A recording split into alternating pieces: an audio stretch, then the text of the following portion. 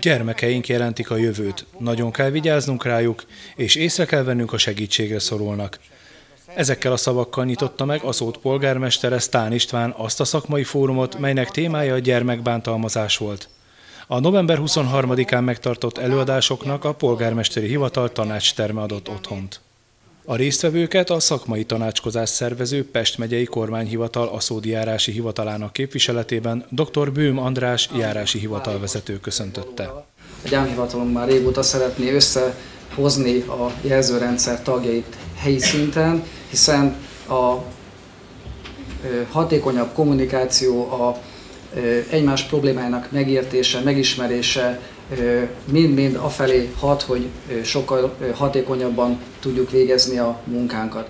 Hagyományteremtő szándékkal indítjuk útra, útjára ezt a mai napi rendezvényt. Időről időre szeretnénk további hasonló szakmai napokat szervezni, hiszen nagyon sok feladatunk van, és sajnos még mindig tudunk olyan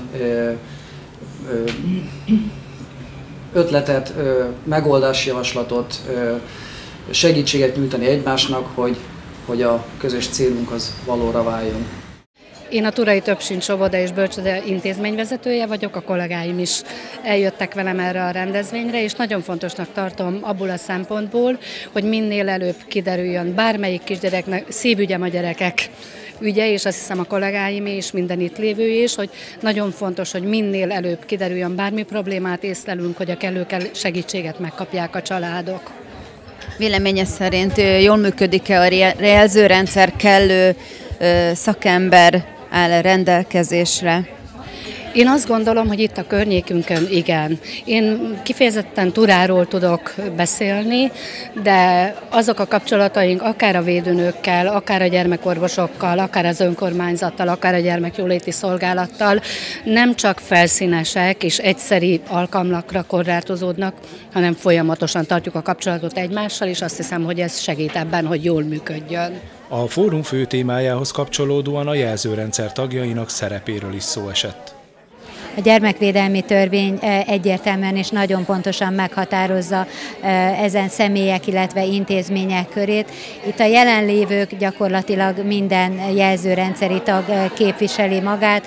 Nagyon-nagyon fontos, hogy jelen legyenek minden, jelen legyen minden olyan intézmény és személy, aki a gyermekkel találkozik. Így a, a teljesség felsorolása nélkül a pedagógusok, az óvónők, az egészségügyi intézmények, a szervek, védőnő, gyermekorvos, a gyermekjóléti szolgáltatók, illetve minden személy, aki a gyermek bántalmazásával kapcsolatban bármilyen információval rendelkezik, élhet olyan jelzéssel, ami elindíthatja egy, ezt az eljárást.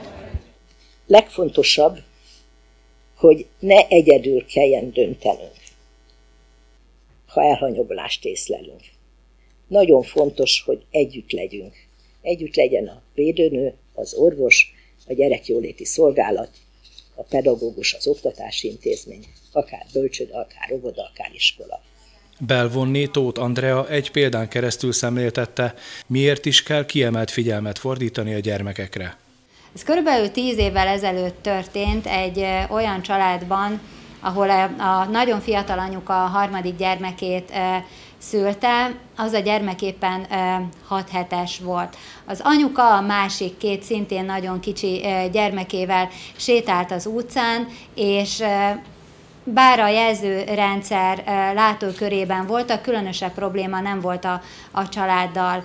Történt az, hogy egy, egy ilyen délelőtti napon egy éppen a frissen végzett fiatal családgondozó találkozott az anyukával az utcán, és kíváncsiságképpen benézett a, a babakocsiba, és hát ugye ott volt a hat, a hat hetes pici fiú, aki hát ugye mint egy hat hetes gyermek, ugye mindenki rácsodálkozik, milyen aranyos, milyen picike, és azért Azért gondoltam, hogy ezt a történetet mondom el, mert ez a frissen végzett családgondozó, aki tapasztalattal akkor még nem rendelkezett, gyermekesen volt akkor még, hogy esetleg a saját családjából merítsen tapasztalatot, furcsának látta ezt a babát.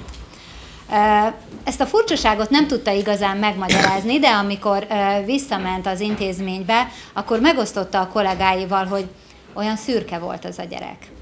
Megbeszélték, szóltak a védőnőnek, a védőnő azzal a lendülettel egy órán belül kint volt a családnál, és megerősítette a gyanút, hogy valami történhetett a babával, azonnal hívták az orvost, hívták a mentőt, és gyakorlatilag két óra hossza múlva már a gyermekklinikán volt ez a kicsi, ahol megállapították, hogy koponyatörése van.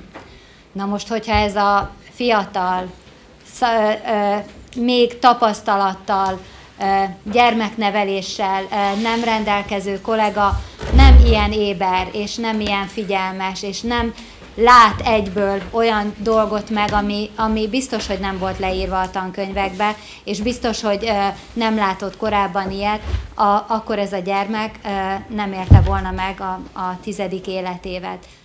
A Pest megyei kormányhivatal gyámügyi osztályvezetője kifejtette, miért fontos a helyszíni szemle, illetve hogy akár már 4-5 éves gyermekeket is meg lehet hallgatni, ha az segít előbbre jutni egy ügyet illetően. A gyermekvédelmi törvény egyértelműen rögzíti, hogyha a gyermek bántalmazása, súlyos elhanyagolása, vagy egyéb más súlyos veszélyeztető ok fennállása, Továbbá a gyermek önmaga által előidézett súlyos veszélyeztető magatartása esetén meg, meghatározott az, hogy a hatóság és az ügyfél milyen módon tarthat kapcsolatot. Meghatározott az, hogy ha a környezettanulmányra van szükség, azt haladéktalanul el kell készíteni, és rögzített az, hogy a lezárt épület, terület, helyiség felnyitásával az ott, a, ott tartózkodó személyek akarata ellenére is megtartható ez a helyszíni számlák.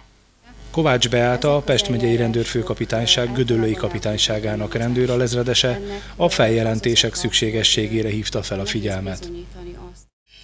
Nagyon fontos ezekben az ügyekben a, a feljelentés tartalma, és erre szeretnék egy kicsit részletesebben kitérni, és ha bármilyen kérdés van, nyugodtan közbe kérdezzenek mert hogy a feljelentés azokat az adatokat tartalmazza, amelyeket önök személyesen összegyűjtenek a helyszínen, vagy a meghallgatások alkalmával. Nagyon fontos az, hogy leírják, amit tapasztalnak, és olyan pontossággal, ahogy azt látják vagy hallják. Nekünk a feljelentések alapján kell döntenünk a büntetőeljárás elrendeléséről. Amíg gyanú van, a jelenleg hatályos BS szabályai szerint csak feljelentés kiegészítést tudunk elrendelni. Ez azt jelenti, hogy nyomozás elrendelésére még nem kerül sor, 15 napot kapunk arra, hogy megállapítsuk, hogy történt-e bűncselekmény vagy nem. Ez egyszer 15 nappal hosszabbítható, úgyhogy nem sok időnk van.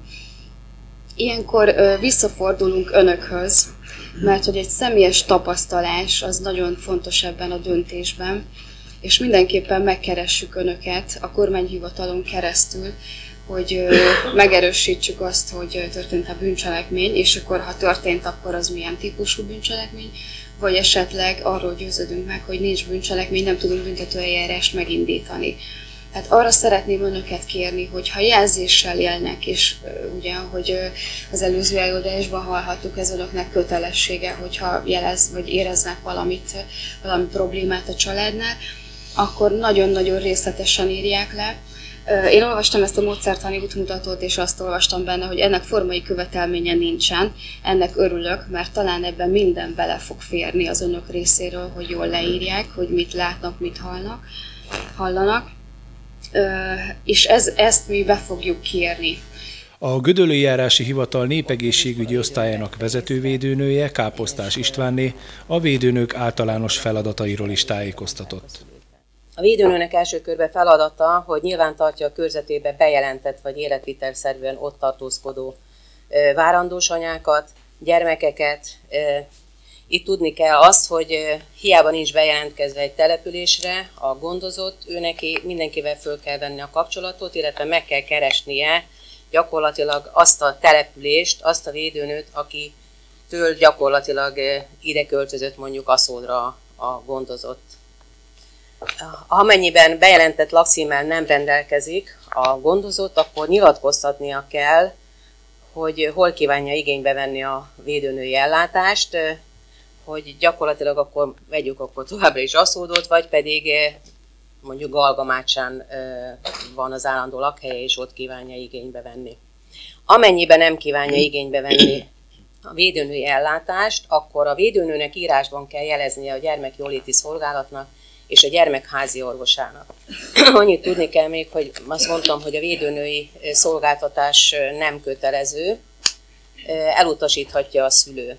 Most a védőnő, hogyha megkeresi a gondozottat, akkor fölajánlja ugye a, a védőnői ellátást, és hogyha látja azt, hogy esetleg olyan körülmények között, mert az is a tapasztalat, hogy főleg azok nem kérik, ugye, aki már esetleg olyan helyről jött el, hogy gond volt vele, vagy, vagy górcső alatt van, akkor a védőnő mindenféleképpen jelzéssel kell, hogy éljen, és föl kell, hogy kutassa, hogy honnan jött, és továbbra is jeleznie kell, hogy, hogy gond van esetleg, illetve hát a kolléganőt megkérdezi, hogy mi a teendő, vagy mit tud róla, illetve hogy kéri a törzslapját, hogy küldje el és ugyanígy fel kell a védőnőnek venni a kapcsolatot a házi orvossal, a gyerek házi és szoros együttműködésbe kapcsolatba kell, hogy legyenek a gyerekek gyerek érdekében.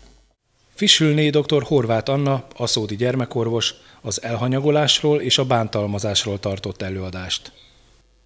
Az emberi civilizáció számára a gyermek felnevelés az egyik legfontosabb érték. Ennek érdekében pedig még a jog eszközeit is csatasorba lehet állítani, ahol a természetes folyamatok nem lennének elegendőek. A kötelék elsősorban anya és gyermeke között adottak, legmélyebbek, és a teljes családra, vagy legalábbis egy együttműködő kisközösségre van szükség, hogy, e, a gyermek egészségesen növekedjék. Ennek a közösségnek jellegzetes tulajdonsága, hogy a gyermek iránti gondoskodás mellett képes legyen vele szemben olyan hatalomgyakorlásra, amely felnőtt gyermek viszony sajátja ugyan, mégis a gyermek a kedvezményezett. Vagyis ő építhet, épül ennek az optimális kapcsolatnak a biztonságára.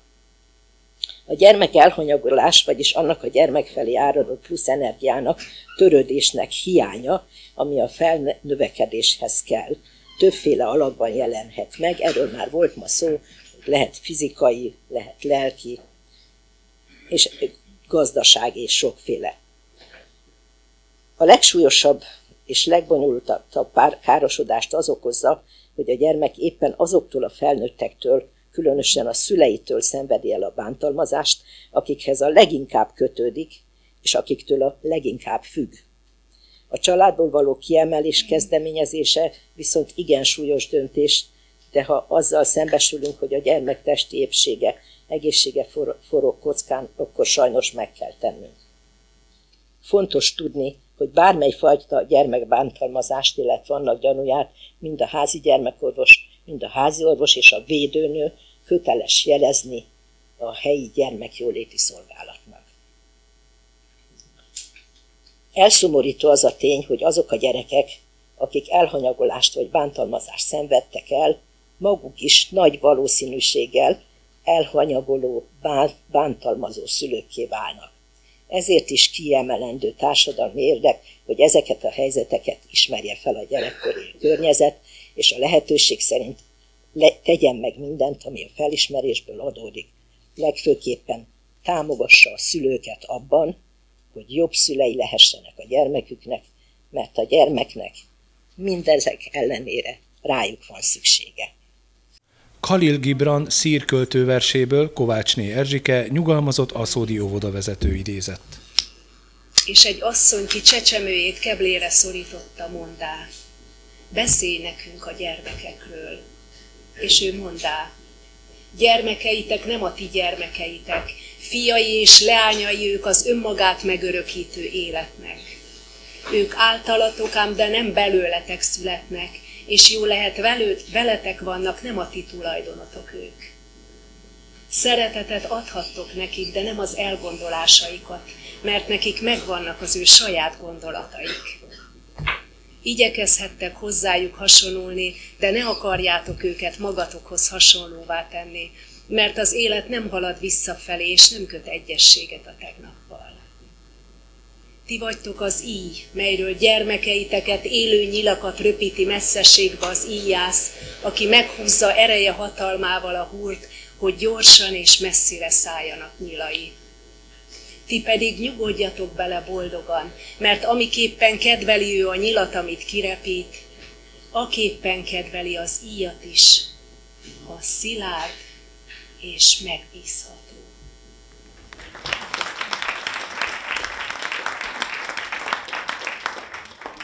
A szakmai tanácskozáson megjelentek egyetértettek abban, hogy a gyermekek érdekében fontos az együttműködés mind a hatóság, mind pedig az egészségügyi szakterületeken dolgozók között. Településen belül van ennek gyakorlata, hogy többször is a gyermekjóléti szolgálattal, védőnökkel, gyermekorvossal rendszeres a kapcsolatunk, és egyeztetünk. Ilyen térségi szinten pedig most vagyunk először itt, első alkalom, hogy itt láthatóan nagyon sokan és érdeklődve veszünk részt ezen az eseményen. Ebben bízunk, hogy ennek lesz folytatása is.